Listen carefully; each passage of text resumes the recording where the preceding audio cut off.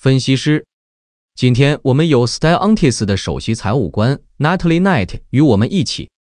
Natalie，非常感谢你今天加入我们，我期待与你分享这四十五分钟。让我直接进入问答环节。我们已经进入第三季度两个月了。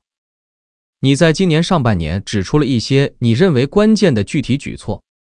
你正在努力实现自己设定的相当高要求的财务目标，面对着颇具挑战性的背景。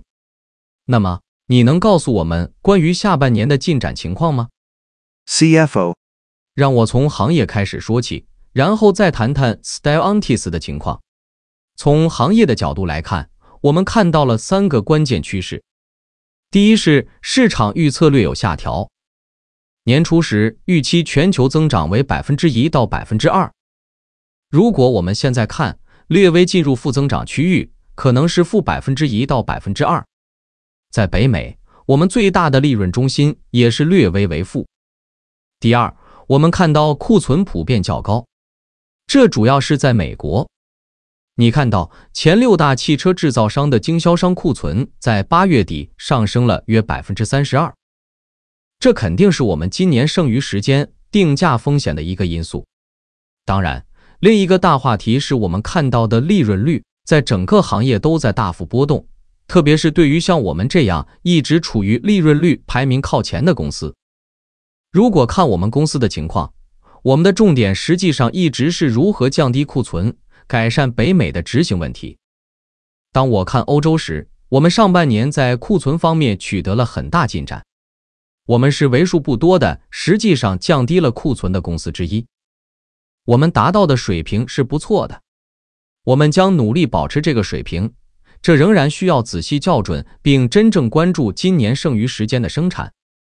美国却是一个在年中我们的库存略高于四十三万辆的地方。销售天数约为九十四天，相比之下，欧洲在六十三天左右的范围内。所以，我们设定的第一个目标是到二零二五年初将库存减少十万辆。我认为我们有了一个良好的开端。我们在七月和八月减少了四万辆，我们将继续在九月和全年看到减少。显然，这是一件需要做很多工作的事情。它可能会有点零碎和笨拙，就如何达到那里以及季节性而言，八月是一个大月份，九月是一个较小的月份，等等。但这些都是我们对进展感到满意的事情，只是还有更多的工作要做。重点真的是能够有我们需要的纪律，因为定价在上半年对我们来说是适度有利的，我们有一些不错的结转定价帮助我们。但下半年的定价有所松动，在这个环境变得更加艰难的情况下，正确处理好库存问题是推动我们下半年的真正原因，也是使我们的下半年充满挑战并希望令人兴奋的原因。我们谈到目标是实现百分之十的经营利润率，这真的是业务的北极星，但同时也要关注如何解决库存问题。我只想非常明确的说。从我的角度来看，如果我们必须做出权衡，为二零二五年做好准备，肯定会是我们的首要任务。所以，我们在美国有一些工作要做，宏观环境有点变难。然后，同时，我们正在把所有这些重磅产品推向市场，这将真正帮助我们的二零二五年，因为我们更多的转向电动车、低排放车和其他混合动力未来。这就是让我们忙碌。但也对机会感到兴奋的原因。分析师问：“这是一个超级有用的介绍。第三引擎呢？你提到了很多关于欧洲和北美的情况。第三引擎一直是今年上半年投资组合中相对较亮的亮点之一。你观察到那里的主要趋势是什么？CFO：第三引擎继续是我们业务中最强劲的部分。所以，感谢你的提问。如果你把它分成不同的市场，在南美，我们的盈利能力有所提高，它也是我们在全球市场份额最高的地方，百分之二十三。我们在巴西、阿根廷、乌拉圭和智利这些最大最重要的市场占主导地位。那是一个全靠本地化的市场。我们的巨大优势是在那个市场，人们认识菲亚特五十年了，认识我们其他品牌更长时间。我们不仅有这个优势，而且我们现在刚开始将我们 Stellantis 平台的第一批产品带到市场。我们在亚洲开发的智能汽车现在已经来到欧洲，他们可以到那里。还在一些小型 SUV 方面有合作。我们也将看到一些非常有趣的产品改头换面，在欧洲开发的东西可以把它们带到当地生产，并为它找到一个新市场。这就是当我们看南美时令人兴奋的部分。当我们转向中东和非洲时，那是另一个迄今为止我们增长最多、盈利能力最高的地方，它将继续对我们来说很强劲。我们在一些核心市场有非常强的地位，我希望它能更好。土耳其是其中一个市场，今年土耳其有点困难。阿尔及利亚是一个巨大的机会，它仍然需要在生产和进口方面更加开放，以便我们充分利用那里的机会。但这是一个我们认为还有很多机会的地方，无论是在南非还是海湾合作委员会市场，我们肯定是渗透不足的。我们能够以几乎中国的价格生产产品，所以非常非常有竞争力。我们最近在商用车方面取得了第一的位置，现在我们在欧洲、南美、中东和非洲都占据了这个位置，所以这是一个我们有很多动力的地方。当然。第三引擎的另一部分是印度、亚太和中国，这些都是对我们来说非常非常小的市场，集团业务不到百分之一。我们再次需要为未来找到解决方案，但目前我实际上相当满意。它是足迹的一个很小的部分。分析师问：“那么，让我们继续谈轻型商用车，这对你来说是一个非常重要的利润池。”新车型上半年投放欧洲市场有一些延迟，特别是那十二款新货车。现在进展如何？你对目前欧洲轻型商用车市场的实力有什么感觉？CFO，轻型商用车实际上是一个我认为我们在时间上做的相当好的地方。我们在欧洲的电动车发布，有一些地方我们本可以更快的进入市场，主要是软件问题。显然已经解决，并且目前已经上市。在轻型商用车方面，我们实际上非常接近最初的发布日期。我会说，在三十天之内。当我们看欧洲的市场时，它继续是一个良好的强劲市场。这也是一个我们在电动车业务中排名第一的地方。这是一个可能比私人和乘用车领域增长更快的领域，因为对总拥有成本有如此大的关注。这是他们可以更快看到一些好处的地方。话虽如此，欧洲的一切目前都面临挑战。轻型商用车不完美，但相比其他一些领域是一个小亮点。它真的是一个关于我们如何将新产品线推向我们的客户的问题，因为他们中的许多人一直在等待更新他们的车队。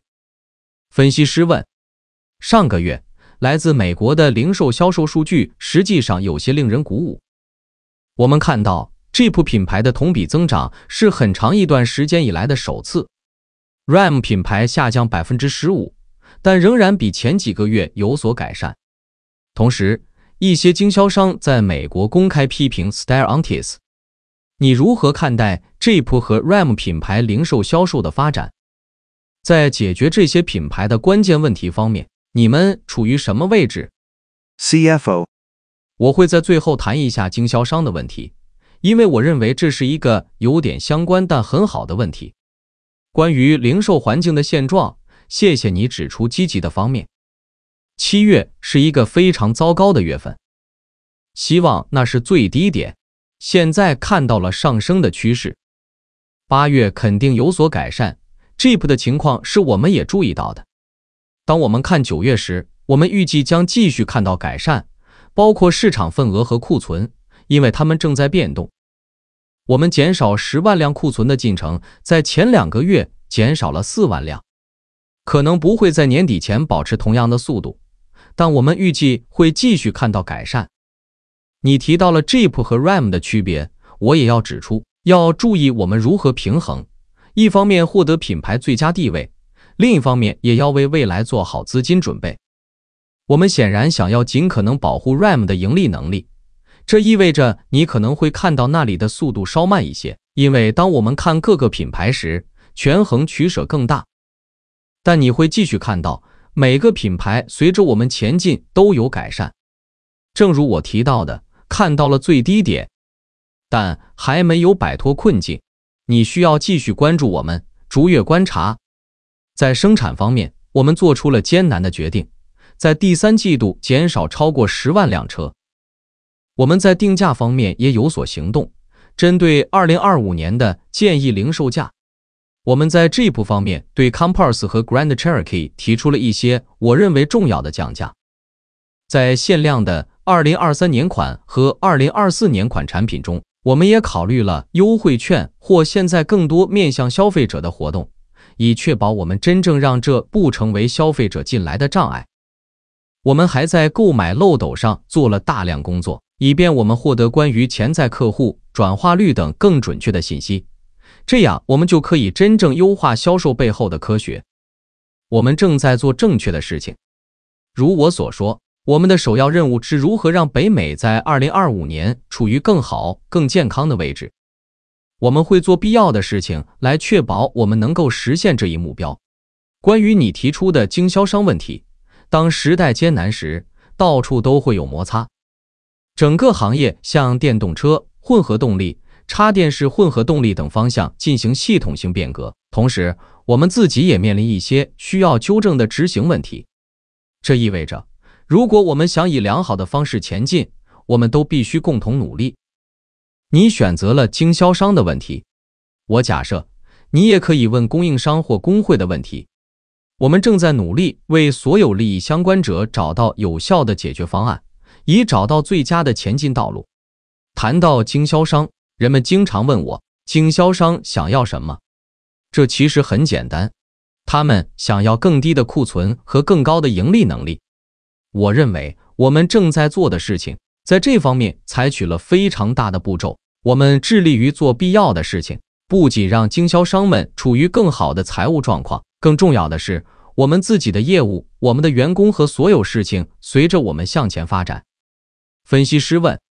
定价问题可能是目前行业最重要的问题之一。零售销售增长的缺乏，清楚地表明汽车变得负担不起。我想，大多数公司已经承认了这一点。当你们考虑定价时，在未来几个月里，你们打算进行多少定价调整或战术性调整？多少又可以通过降低成本来抵消？是否存在结构性过高因素？你们必须做出选择。是否愿意无限期的接受较低的销量水平？CFO，这是一个很好的问题。我会以稍微不同的方式看待它。我会这样框定：我认为有一个短期问题，主要是由北美的运营驱动的。我们需要考虑如何最好的弥合差距，以达到更健康的水平。这就是做所有我提到的那些策略，无论是生产定价还是购买漏斗。在所有这些方面更聪明。你在过去几个月看到的是，这种关注不仅仅是一次性的减少多少生产，而是试图更好的平衡供需。如果我们看到某个车型没有必要的需求，我们不会犹豫在某个时候关闭工厂一两周，以确保我们真正按需生产，而不是创造可能会造成更多问题的东西。这是我们在做法上的一个新变化。当你看长期时，关于我们认为车辆定价需要什么，以及定价和销量之间的权衡，我们认为我们有一个好的解决方案，那就是我们有很多尚未上市的产品，这些产品将解决许多这些重要问题。我们有多能源平台，我们将从二十个平台减少到五个平台，覆盖百分之九十的产品。我们将在全球范围内进行重新设计。百分之六十的产品将节省百分之六十的成本和百分之二十的时间。然后有更实惠的产品系列。当我们看电动车时，我们到今年年底在欧洲将有四款低于两万五千欧元的车型。我们将有领跑电动车，那里有两款在价格方面也非常有竞争力的车型。我们在续航里程方面处于领先地位。我们在 C 级细分市场比以往任何时候都有更多产品，有七款新产品。所以从长期来看，我认为我们也处于很好的位置。然后还有中期，也就是说，在度过今年年底之后，接下来的一两年会是什么样子？我认为这将有许多因素驱动。对我来说，最难预测的是我们所有的竞争对手会做什么，因为。每个人的起点都不同，每个人在电动车组合、电动车与内燃机车的组合以及这些车辆的盈利能力方面都面临不同的挑战。我们处于一个相当幸运的位置。当2025年所有电动车要求开始变得更严格时，我们的组合相当不错。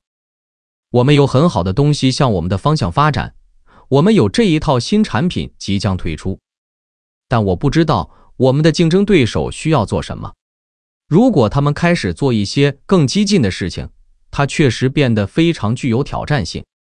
如果我看今年的英国，它可能有点预示了我们在未来一年将在欧洲其他地方看到的情况。那是一个我们有信心到年底能够达到零排放车辆目标的地方。我们有信心将以合理的盈利能力做到这一点。我希望能有更高的盈利能力吗？总是，但因为我们必须权衡定价方面的情况，但这是我们能够在成本基础上做很多事情的地方。我们能够在商业报价方面非常有创意，考虑如何获得适合观众的东西。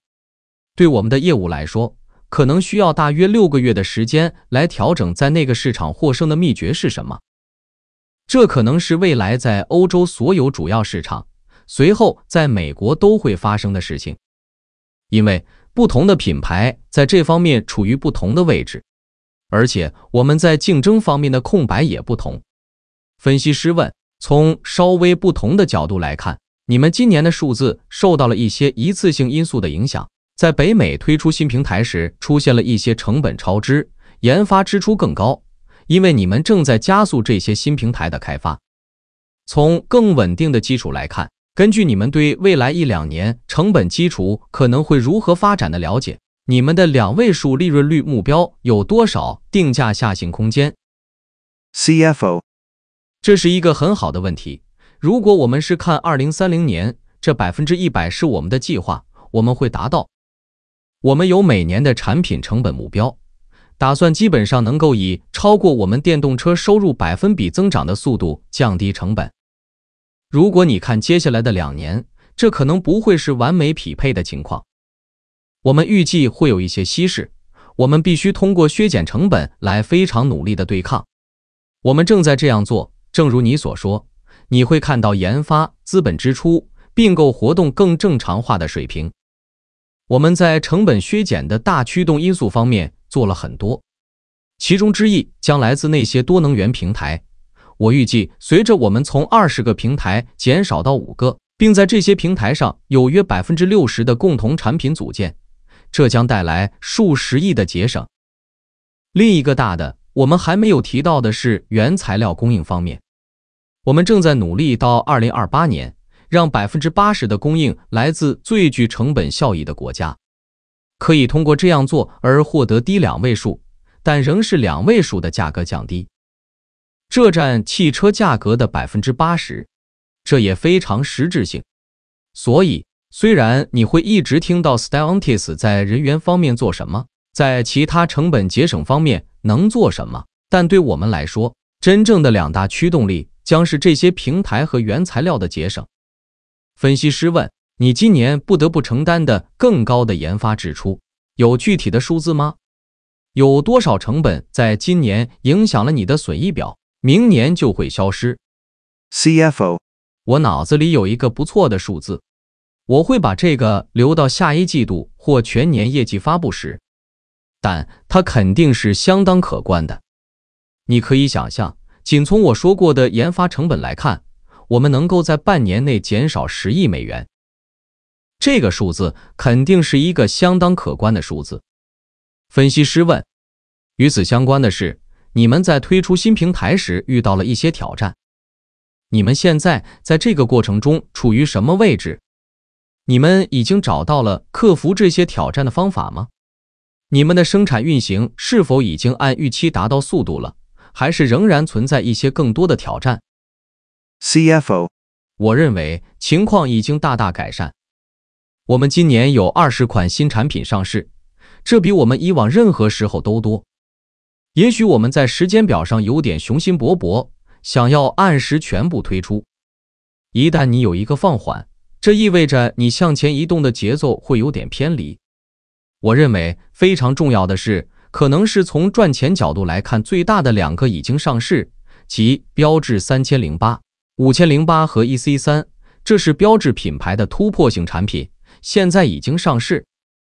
我们大多数产品出现的问题主要是软件性质的，这意味着对上市的时间影响并不大，但它需要调整，直到你做对为止。这样你就不会最终处于一个像我们一个同行不得不召回产品的情况。电动车中许多事情更简单，但这是更复杂的部分之一。所以总的来说，我们的几款产品有一点滞后。但我确实感觉我们现在处于一个比上半年好得多的位置。当时你看到一些东西，要么滑到下一季度，要么滑到下半年。分析师问：如果我们考虑新车型节奏或新车型对销售的贡献，在资本市场日，你强调说上半年可能是百分之五到百分之十，预期是在下半年会达到百分之十五到百分之二十。你们仍然在轨道上吗？还是你认为它可能会稍微推迟到明年上半年？CFO, 我对这个数字感觉其实相当不错。我们可能会偏离百分之二或百分之三或类似的数字吗？可能会，但我认为方向上这正是我们前进的方向。分析师问：你几分钟前提到了召回，他们开始在整个行业层面上成为一个话题。我猜这与传统汽车制造商试图更快地将电动车推向市场，正在缩短开发时间，试图保持市场份额有关。我不是在指责 Stellantis，我认为这是一个行业问题。但对 Stellantis 来说，最近有公告说，大约一百五十万辆 Ram 卡车被召回，看起来他们是相对较小的召回，但只是想了解一下这。是否会成为你们今年的一个重大成本？更广泛的说，我们在今年上半年也看到经营利润以下的成本显着增加。也许你能给我们说一下，现在在这方面处于什么位置？这些成本是否预计会从这里下降，或在更长一段时间内保持高位？CFO, 这是两个非常不同的问题。首先是 RAM。这是一个 ABS 配置不匹配的问题。你说的对，大约是一百四十万辆车，只是需要一个非常简单的软件更新，不需要更换零件，不需要任何东西，所以这不会成为一个大开支的东西。召回、保修、质量在这个行业中始终至关重要，对我们来说始终非常重要。在欧洲方面。我们可能看到更多关于高田安全气囊的讨论，这显然是我们很久以前就已经计提的东西。现在我们只是在确保我们真的让人们获得最好的服务。你问的另一个问题是关于非经常性项目下的所有内容。如果你看上半年，我们那里有一个非常高的数字，我会说它异常的高。这一方面与较小的三亿到四亿美元的玛莎拉蒂平台注销有关。更大的部分是在欧洲的重组，这一直在继续。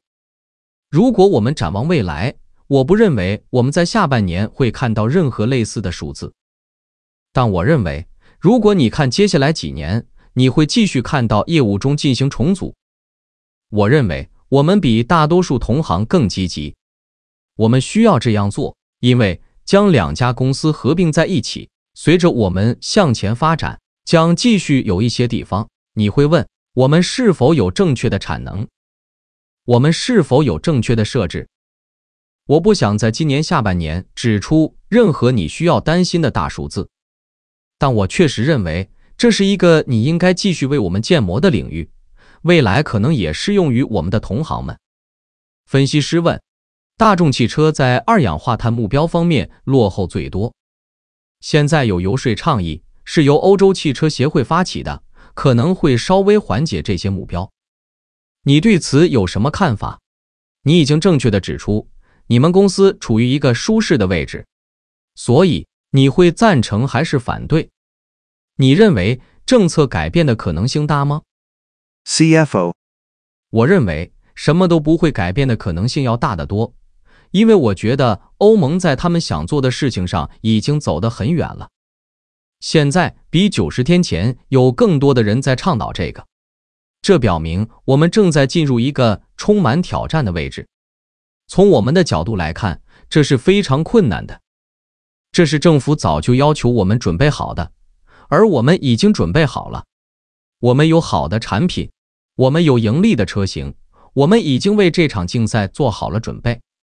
老实说，我们不认为在游戏中途改变规则是公平的，因为每个人都清楚的知道即将发生什么，时间表是什么。归根结底，这是一个你想要更快的承受痛苦，还是在更长的时间内承受同样痛苦的问题。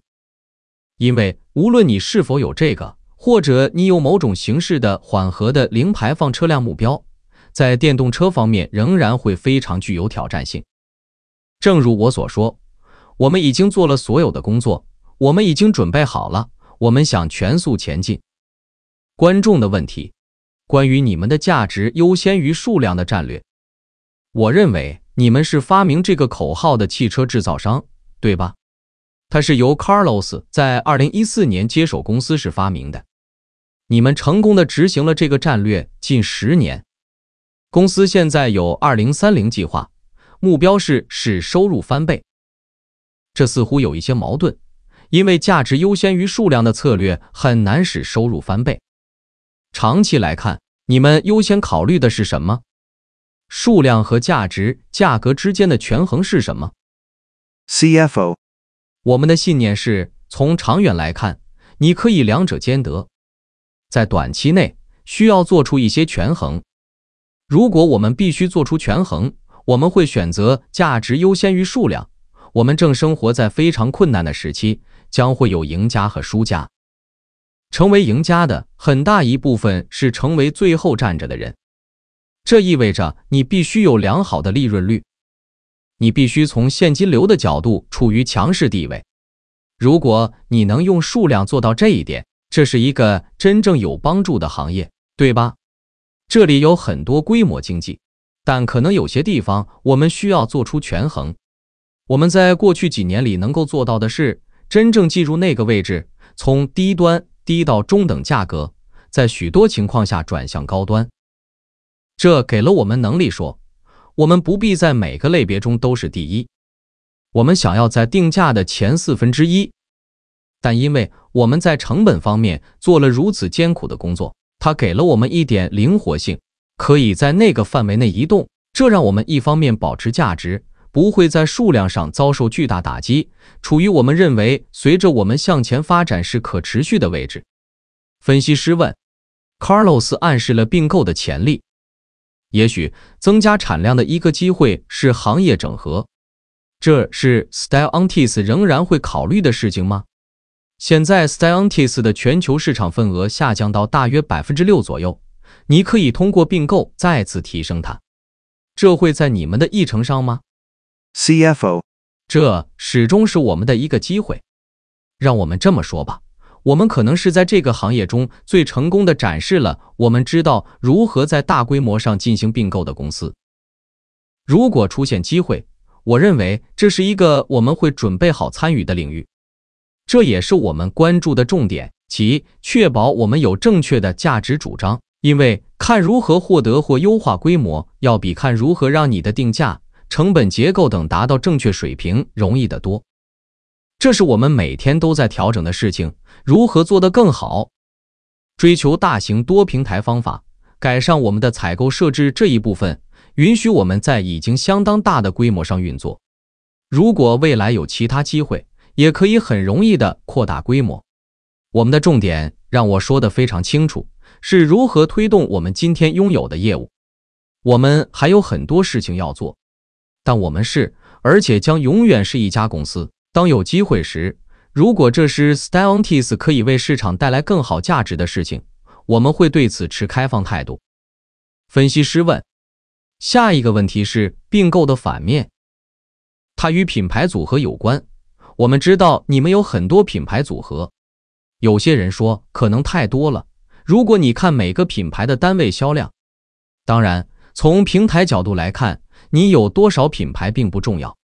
你对此有什么看法？什么时候要整合品牌组合？特别是在欧洲。CFO 是的，我认为我们还没有到那个地步。在大胆前进战略开始时，Carlos 说过，想给每个品牌十年时间来展现自己，然后我们再决定。那仍然感觉还很遥远。我认为拥有十四个品牌对我们来说是一个独特的卖点，相比大多数只用一个大品牌的竞争对手。当我们看商用车时，这是一个关键价值。产品几乎相同，但人们在个别市场对一个品牌有忠诚度，他们有客户服务，所有这些东西都用于一个真正帮助我们的品牌。当我们看使用这些大型全球平台重新设计。你可以在不同市场之间使用，我认为有很大的机会。这并不意味着我们没有机会在品牌内部合理化我们的工作方式。我认为这是一个公平的反馈，也是我们应该关注的事情。如果你看北美，我认为那是一个我们已经很好的细分的地方，对吧？如果你想要 SUV，你买 Jeep；如果你想要卡车，你买 Ram。如果你想要小型货车，你买克莱斯勒；如果你想要肌肉车，你买道奇。在欧洲，这并不那么清晰，在那里可能有一些事情，我们需要在不同市场和不同细分市场中更整洁地处理我们的品牌。但我认为，品牌的利用对我们来说仍然是一个很大的增值。分析师问。当我们作为分析师团体思考 Stellantis 的成本机会时，我在考虑你们今年因产量较低而遭受的固定成本吸收不足的背景。在人员裁减方面，你们一直非常强势。我在想你们在供应商方面做的事情，在想协同效应，在未来二到三年里，我们应该在多大程度上强调这些措施？去年我们在讨论协同效应时。我们谈到每年可以解锁十亿到十五亿的潜力，这是我们当时看到的。这是否仍然是你会坚持并强调的关键卖点？是否是公司未来一两年股票故事背后的支撑？CFO 绝对是，甚至超过那个时间。如果你看二零三零年，我们应该至少有和我们迄今为止完成的一样多的协同效应。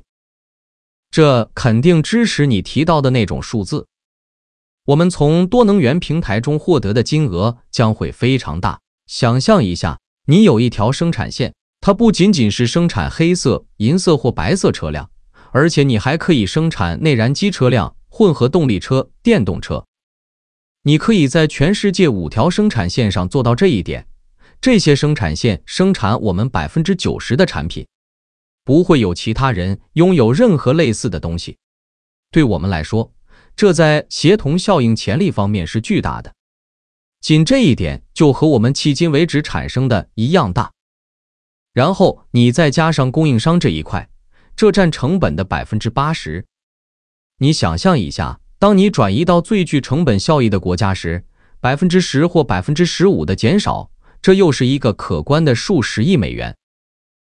然后你看看所有其他的事情，这些是我们真正以继续证明我们的员工基础效率而闻名的事情，特别是在白领方面，还有继续保持研发效率。我们想比任何同行效率高百分之三十。这部分故事对我们来说真的很关键。如何继续从柠檬中榨出更多的汁液？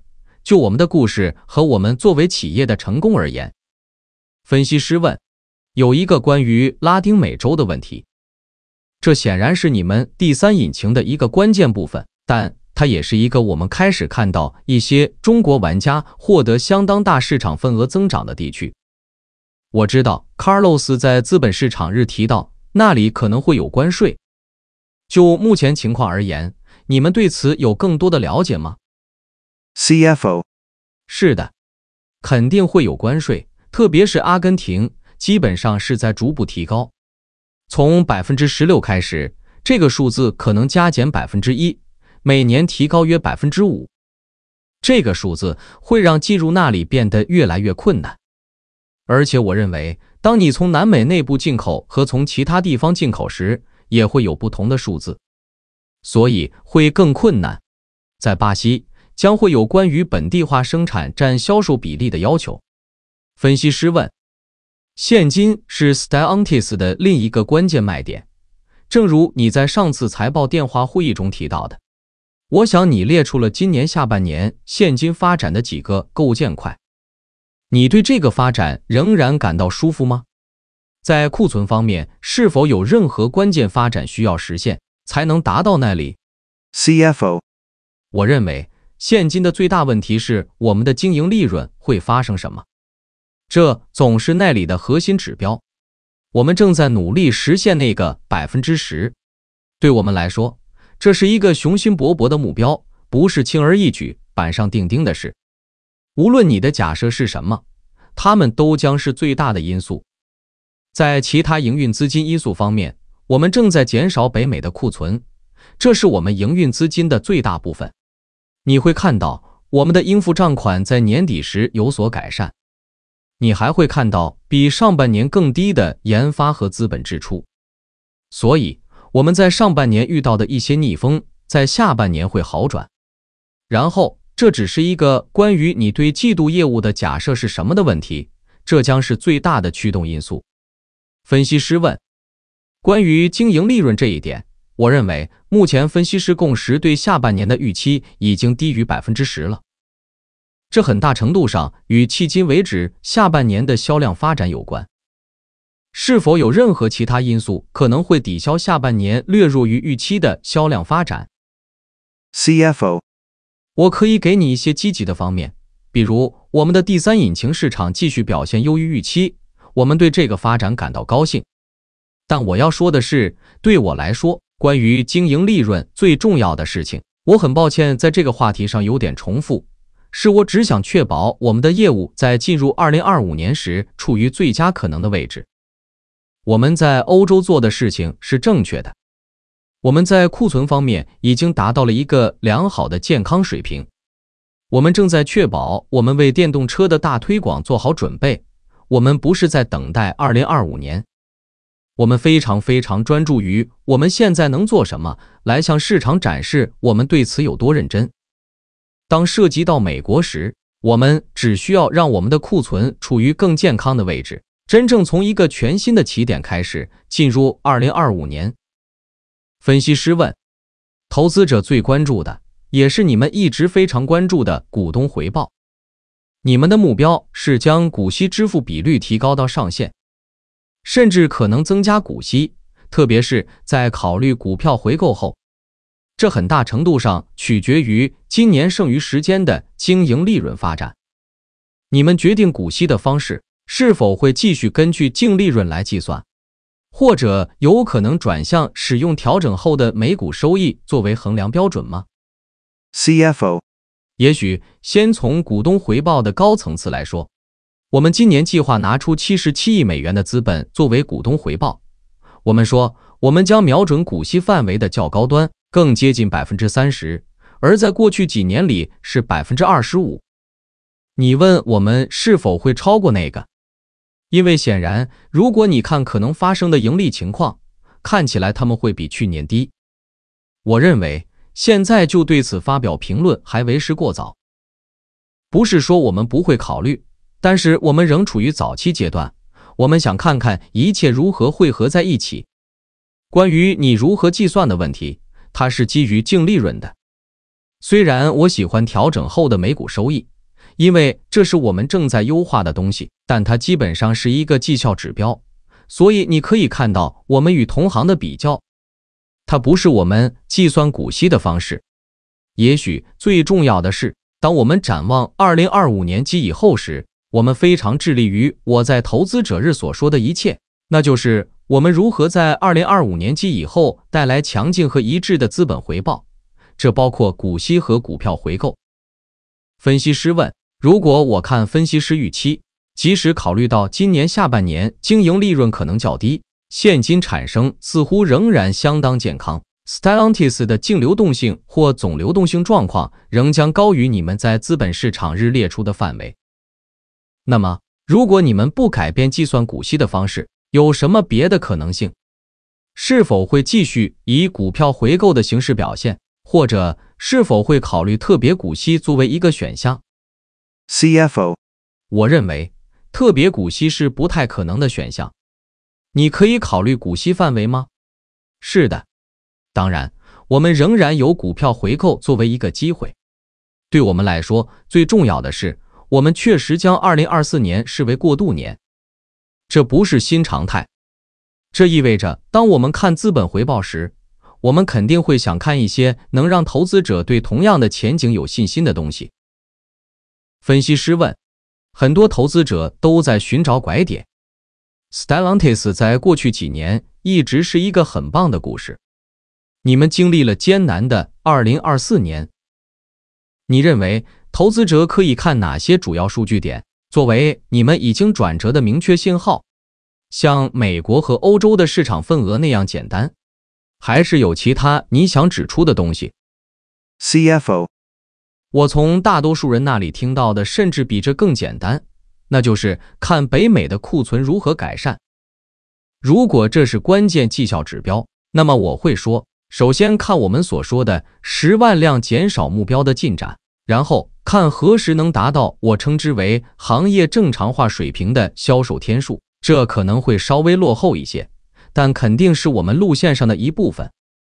然后我认为，随着你向前发展，这是不同因素的混合。市场份额有点像滞后指标，所以它虽然不是无趣的，但更重要的是那些我们想要增长的核心领域的发展。在美国，我们在中型 SUV 和其他我们尚未参与一些增长类别的车型方面，仍有一些空白需要填补。在欧洲，这将非常强烈地体现在我们在电动车领域的成功上。我认为这绝对是一个值得关注的事情。看我们如何与同行竞争。我认为，当我们做所有这些事情，然后你继续听到我们在真正从成本方面做到这一点的进展时，这些将是我会关注的事情。